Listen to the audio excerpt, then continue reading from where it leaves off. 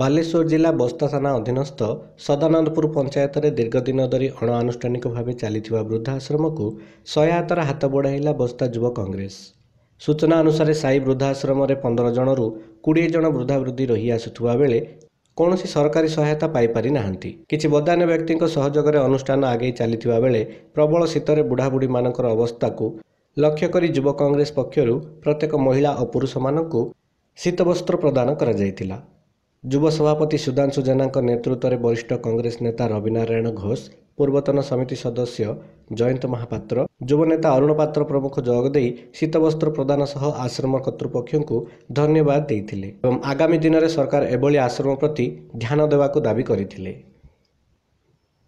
ବାଲେଶ୍ୱର ଜିଲ୍ଲା ଜଳେଶ୍ୱରରୁ ପ୍ରଫୁଲ୍ଲ ପଟ୍ଟନାୟକଙ୍କ ରିପୋର୍ଟ। ଉତ୍କଳ ଖବର।